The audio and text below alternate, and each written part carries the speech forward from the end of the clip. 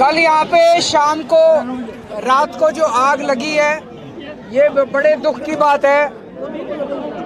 बता रहे हैं कि, बता रहे हैं कि पेंट की फैक्ट्री थी, और हम जानते हैं कि पेंट कितना ज्वलनशील पदार्थ होता है, और वहाँ पे उसमें आग से जो सारा इसका केमिकल था, वो बता रहे हैं नालियों में बहने लग गया, और नालियों में भी आसपास के इलाके में सारे में आग लग गई। आसपास की दुकानें, आसपास के घर कईयों में आग लग गई। इसमें 11 लोगों की मृत्यु हुई है।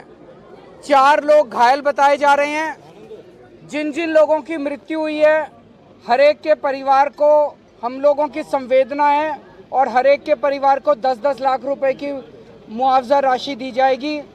किसी की भी मौत की कीमत नहीं लगाई जा सकती, लेकिन अपनी तरफ़ से हम जो मदद कर सकते हैं, हम करेंगे।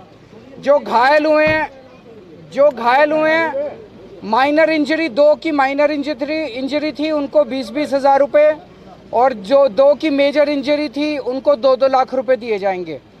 इसके अलावा जो मकान और घर जल गए हैं, उनकी सरकार की पॉलिसी है, उसका सारा आकलन कराएँगे। मैंने अभी डीएम को बोल दिया और जो नुकसान हुआ है, वो सरकार की पॉलिसी के हिसाब से उनका भी नुकसान की भरपाई की जाएगी।